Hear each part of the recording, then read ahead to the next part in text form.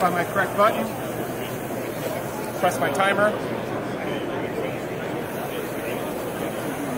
drops to the correct gap, so I can set my gap different uh, profiles.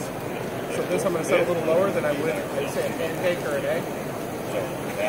I can cook steaks, cook salmon, any full amount of protein, pork chops, T-bones, etc., etc.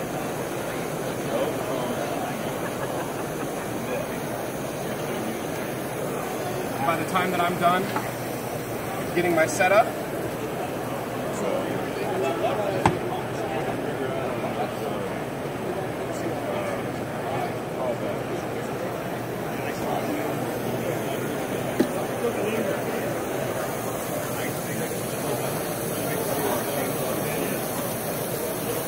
Now I can do a uh, frozen burger on here as well.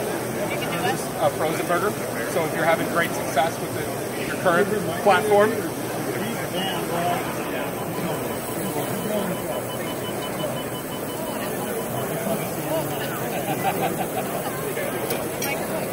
Don't make us way around there.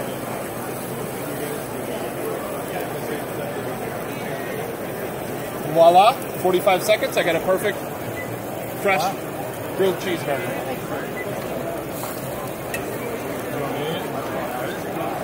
Want uh, right?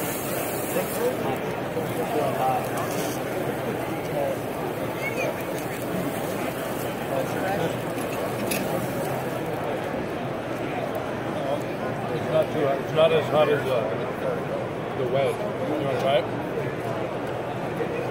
It is good. Delicious. Is your contact information? Um, that would be for Todd, and he can get you the information on either one of these products. Yep, yep. Which do you have more interest in right now? The oven? We do have a test kitchen in St. Louis that I could invite you in for. I would compensate you. Obviously, Lincoln's a good six-hour drive. My son almost went to uh, Dome. Yeah. Um, for wrestling, and then he went into the wrestling room and saw the gorillas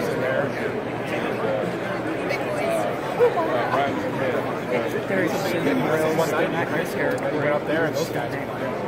Okay. Uh huh. Charlie that. Uh, we go through the whole process